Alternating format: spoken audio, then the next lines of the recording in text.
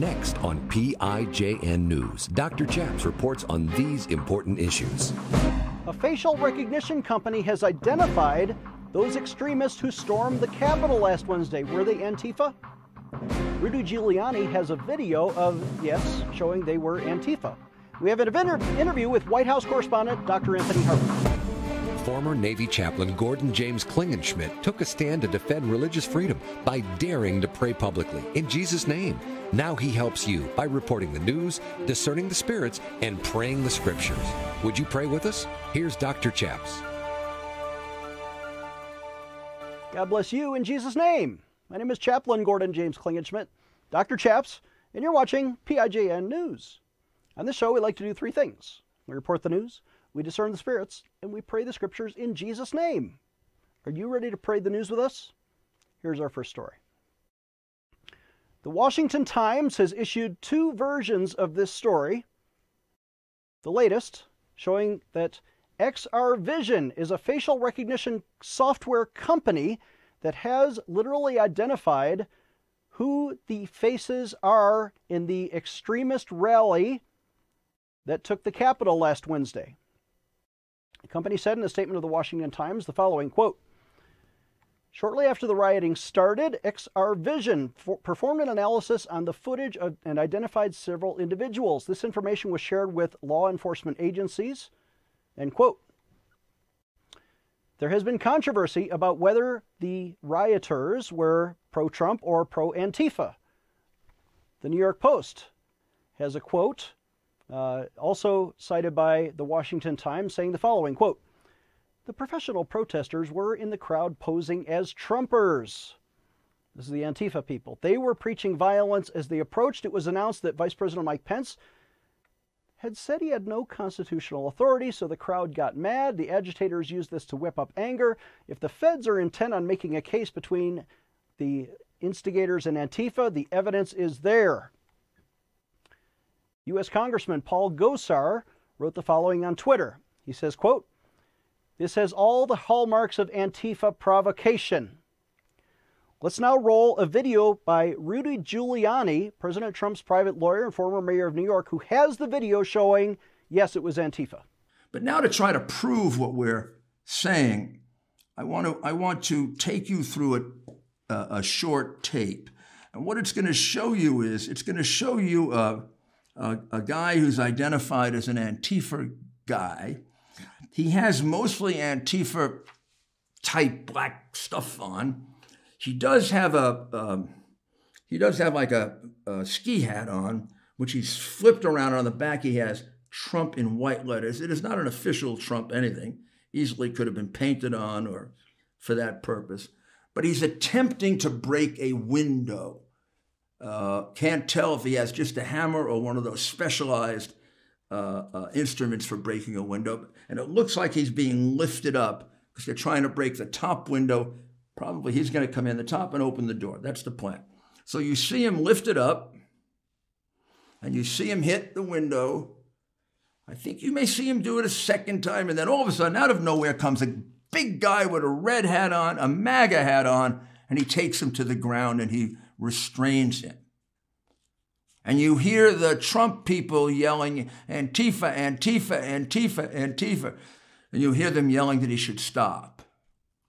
And then later on, after uh, the hero that, that stopped it leaves, he tries again, and several women, Trump supporting women, stop him. So, so right from the very start, what we see is at least this group of Trump people didn't want to see the law broken. And the Antifa guy, or and several of his colleagues, were the ones trying to break in. So let's take a look at that tape so you can see it for yourself.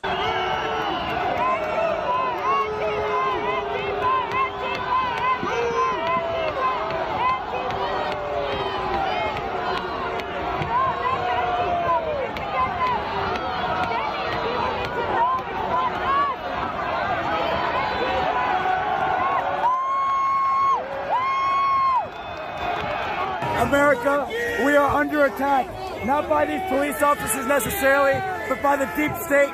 Here we are in the middle of a of a militant leftist deep state globalist operation trying to make Trump supporters look like idiots and that we're violent agitators. With truth and fact, there are people dressed up in MAGA hats and other gear that are pretending to be MAGA supporters and they're instigating and they're playing on the emotions of all Trump supporters. Listen to this. Listen to this. These are people that love the cops. We love the police, but a few Antifa dressed up as Trump supporters. Our thanks to Rudy for that interview. I'm convinced, aren't you? Here's what the Bible says in Acts 19, and this is against all of you rioters, pro or anti Trump, right? If you're a rioter, this scripture is for you. We are in danger of being called into question for today's uproar, there being no reason where we may give an account of this disorderly gathering. Or how about this one from 1 John 4? Beloved, don't believe every spirit, but test the spirits to see whether they're from God, because many false prophets have gone out into the world. Let's take a short break. When we come back, Dr. Anthony Harper was at the rally in front of the Capitol. This is PIJN News, defending your religious freedom. Dr. Chaps will be right back. I'm Dr. Chaps. Jesus said in Matthew 24 that famine would be a sign of the end. And we are now facing a famine of biblical proportions in one of the poorest states in India, where our charity has sponsored up to 259 orphans and children for many years. But now, there are thousands of people starving in the streets because of the unemployment there. And we've been helping widows, like the letter we received from Sanuri, who writes to us and says, I stay with my three children in the slum. I was washing plates in the hotel and earning bread for my family, paying house rent. Suddenly, I lost my income. After hotels were closed by the government, this was a shocking moment for me. Afterward, we could manage eating half a meal a day to manage a scanty ration for longer days. When there was no ration left for my family, I was quietly weeping outside with agony. An unknown fellow came and asked whether I am a widow. I said yes. He wrote my name and address and asked me to collect ration from your office. I got that ration with joyful tears. I strongly believe that God helps the helpless during troubled times through benevolent people. You know, the benevolent people she's talking about are you. And your generosity, when you give through our ministry, is actually helping her to see God. Would you please donate today at 866 Obey God? Again, our phone number 866 O B E Y G O D and help us supply a matching gift. We've already given up to $10,000 to supply 100,000 meals, and there's somebody out there who could double that gift with one stroke of a pen. Please donate through our website, prayinjesusname.org, and designate your gift to India Relief. Please give today. Stay tuned for the end of our show to learn how to partner with this ministry. Here's Dr. Chaps. Welcome back. I'm Dr. Chaps. We're going to go right to Dr. Anthony Harper, who had a report live from the rally in front of the Capitol. This is a big rally, Jericho March here in support of President Trump. There's so much at risk here at the Capitol building where Vice President Pence is in the hot seat to uh, decide and deal with the, the electors from the Electoral College votes. A lot of challenging issues. Uh, in line with what uh, Joe Biden talked about the soul of America being in jeopardy and he has no idea about what the soul of America is or spiritual matters. These are very serious issues. President Lincoln had a very good understanding about the soul of America. He said, America is a nation that has forgotten God. We've become too proud and too arrogant and self reliant. He called on a time of repentance, national repentance of our many sins that we've committed. That's also in light of 2 Chronicles 7:14, which says, if my people which are called by my name will humble themselves and pray and seek my face and turn from their wicked ways, then will I hear from heaven, forgive their sins, and heal their land. And the only solution for America's problems is Jesus and repenting of our many national sins. We think of the children, the screams of the children being killed in abortion, and so much more the assault on our religious freedoms. The, the way Israel is being treated, the sanctity of marriage as well so much at risk. The soul of America is in jeopardy, as Joe Biden says, but he doesn't have any understanding of what that means Jesus is the solution. And Biden and Harris need to themselves repent, as President Lincoln would call for as well. So much at risk here for America. This very crucial day, Wednesday, January 6, 2021. Pray for America to return to God as President Lincoln called for. Here now, live from the White House, is Dr. Anthony Harper, who will explain what he saw at the pro Trump rally, or was it an Antifa rally at the Capitol? Anthony Harper from the White House today.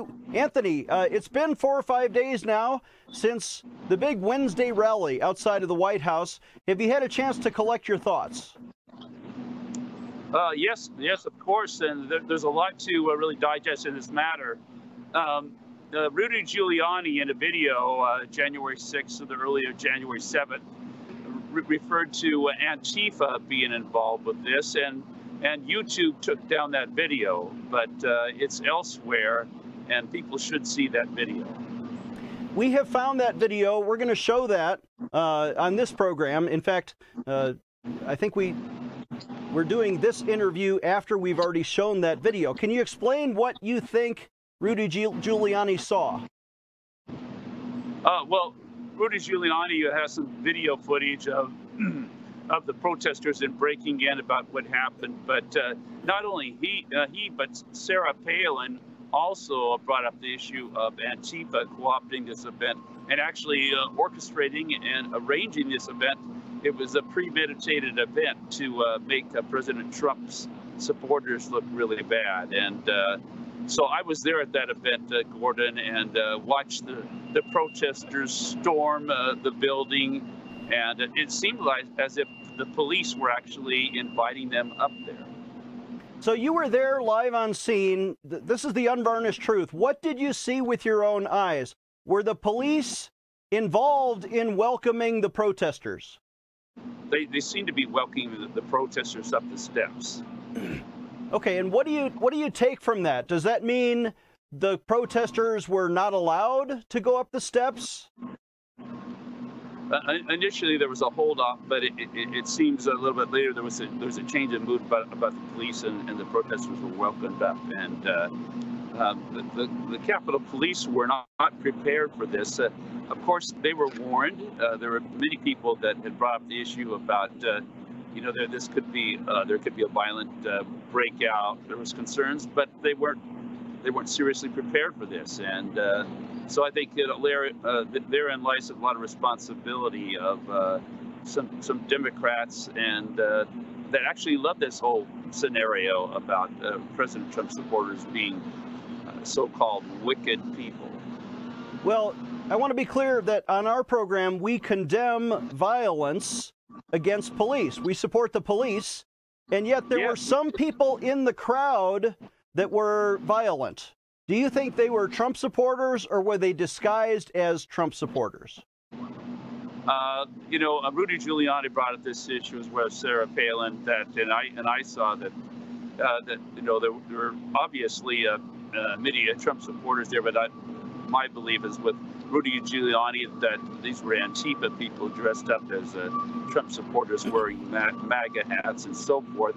But it wouldn't be just only Antifa, but there are other uh, violent people as well that uh, possibly that Antifa helped organize for this event. Okay, so there were some Antifa there who were wearing backwards hats that say Trump on them or self designed hats. We've already shown the video of some of them doing damage to the Capitol. Do you think those were the same people that were violent against the police? Uh, very likely. Uh, just still waiting, uh, actually, for some more evidence uh, to come out. And Rudy, Rudy Giuliani to issue another video and an update on that. Uh, uh, very serious issues and a very alarming. I really knew that there would be something going wrong at this event, but I, I don't know if the if the Capitol Police would have taken uh, you know the warning seriously and been prepared for it.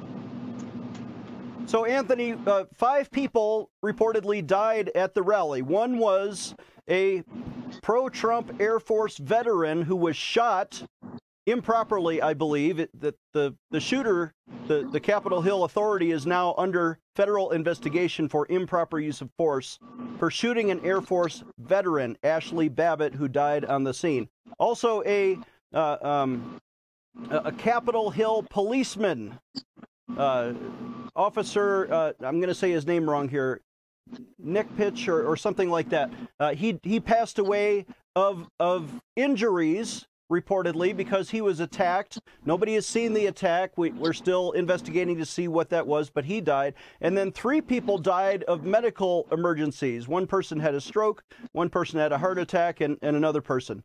So, did you see any violence firsthand? I didn't see any violence firsthand.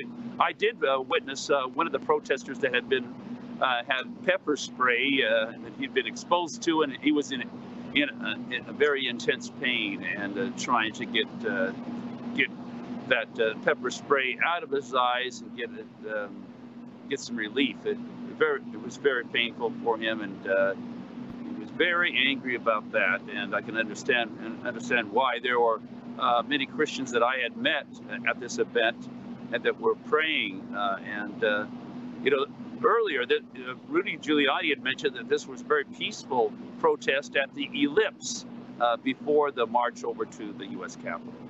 Okay, let's take a short break. When we come back, Dr. Anthony Harper will explain what happened earlier that day. Dr. Chaps will be right back with more PIJN news. Are you frustrated by recent events in American politics? Do you wish you had the power to change things? Well, now you do. Don't say I'm only one person, I can't make a difference, because we can teach one person with a little bit of political knowledge how to take back their country and make a real difference. When you get the book, How to Liberate the World, a step by step guide to take back your country. I wrote this book on personal experience having helped change bad laws or policies in, 30, in 13 states and won my own office in my own election for a legislature. I teach you how to use these political tools the same way that the left has been using for years. We now offer to Christians to use the right way to expand God's kingdom. There's a prayer after every chapter. And in the book, How to Liberate the World, we teach you how to write a petition and get a thousand people to sign your petition, how to organize a rally and get a thousand people to march with you, how to write a press release and get your story in the newspapers, how to do fundraising for your cause or your organization. That chapter alone is worth the price of the book. And finally, how to run for office and win. These things are all in How to Liberate the World. And just to prove to you they really work, we're going to throw in this DVD Activist Christian set uh, this is a $30 value. We're giving it to you half for half price. $15 for this, $15 for this. Normally, the two together would be $45. We're going to give it to you for $30 suggested donation when you call us today at 866 Obey God.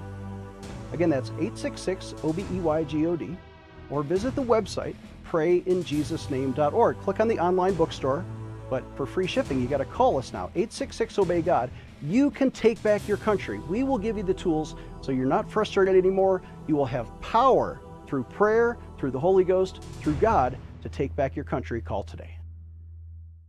Empowering you, the grassroots activist. Here is Dr. Chaps.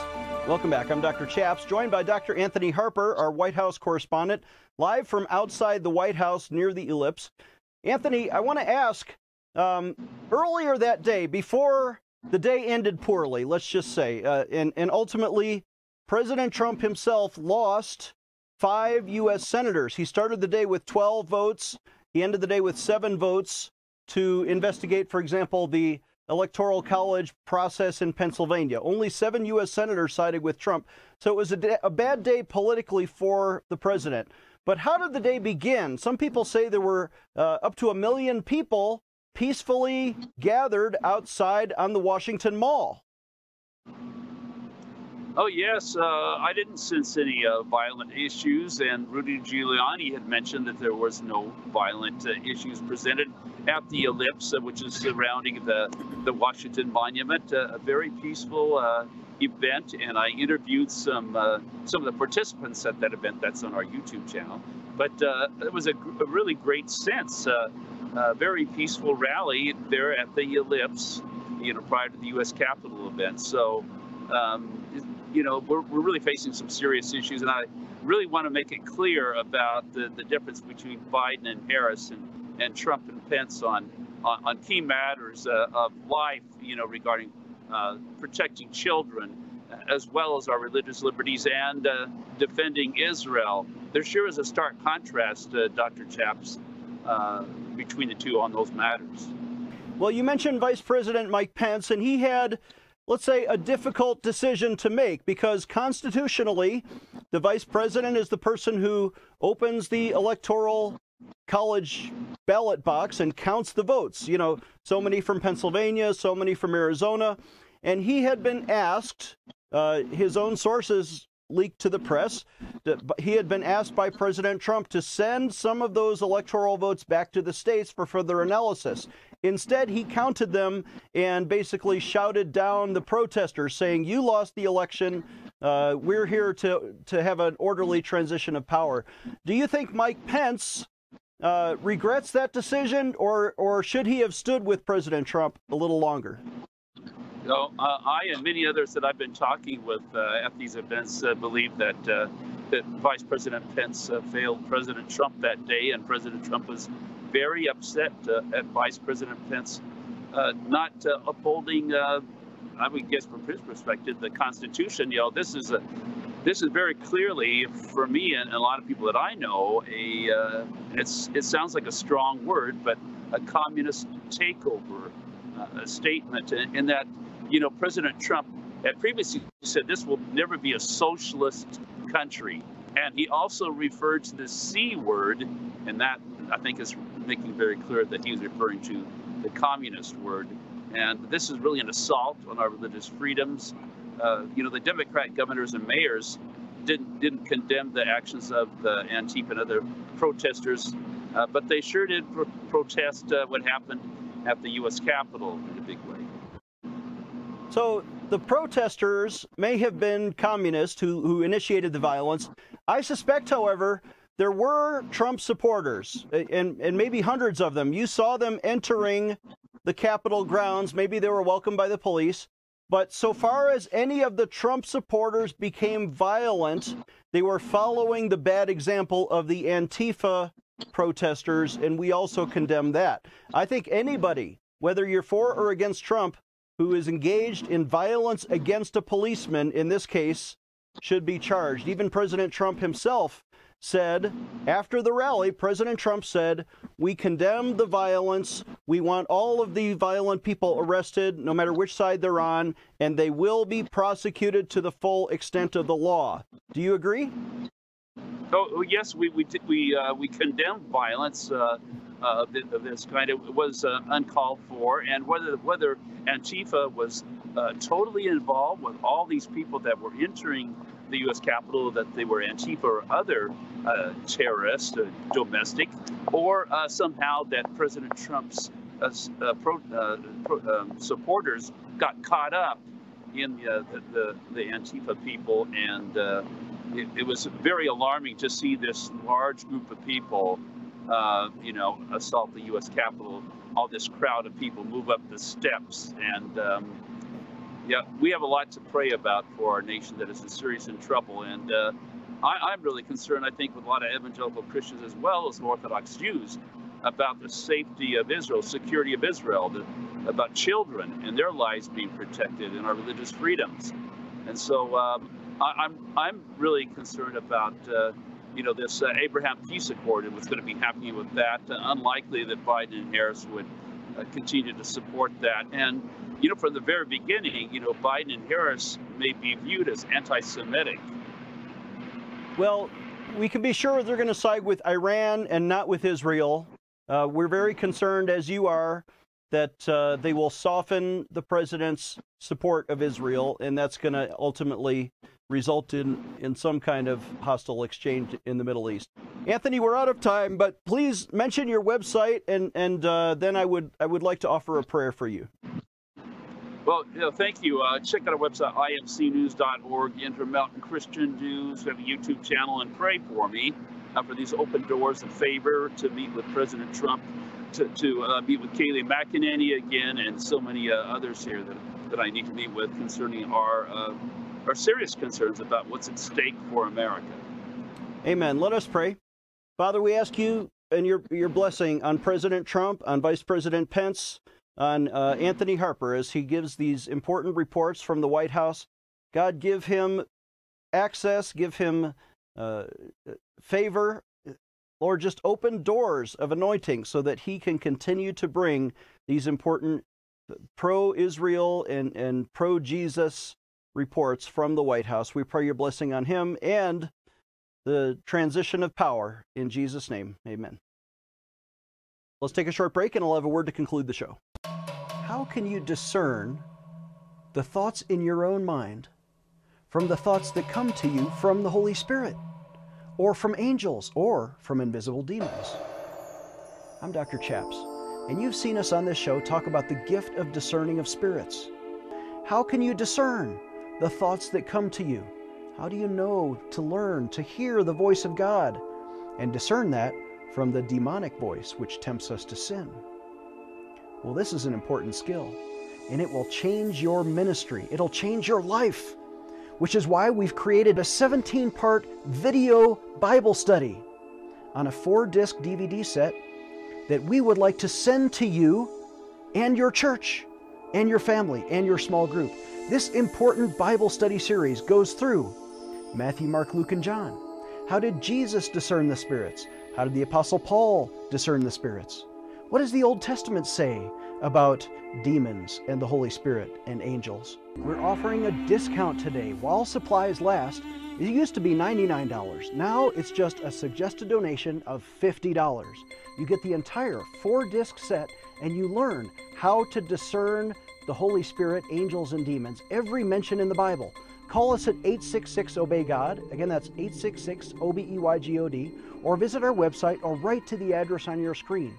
You can learn to discern the spirits. Empowering you, the grassroots activist. Here is Dr. Chaps. I want to thank those of you who write to us. Here's a nice letter we received from one of our viewers who wrote to us and said, quote, I pray for the welfare of our country. Sometimes God moves in mysterious ways. I trust He has His reasons for saving us His way. God bless you and God bless America. We agree with you, AA from Hawaii, one of our faithful donors, and we're asking you to write to us at P.O. Box 77077, Colorado Springs, Colorado 80970. When you write, would you please donate? The Bible says in 2 Corinthians 9, He who sows sparingly will also reap sparingly. He who sows bountifully will also reap bountifully. So let everyone give as he has purposed in his heart, not grudgingly or necessity, for God loves a cheerful giver. Please donate when you visit prayinjesusname.org or call us if you need prayer at 866 Obey God. We'll see you next time. Dr. Chaps needs your financial support to stay on the air. Would you please send your best financial donation today? Please visit prayinjesusname.org to donate online, or you can mail a check to Pray in Jesus Name Ministries, Post Office Box 77077, Colorado Springs, Colorado 80970. You can also call us toll free right now, 866 Obey God. That's 866 O B E Y G O D. Please sign up for our free emails at prayinjesusname.org. Again, that's prayinjesusname.org.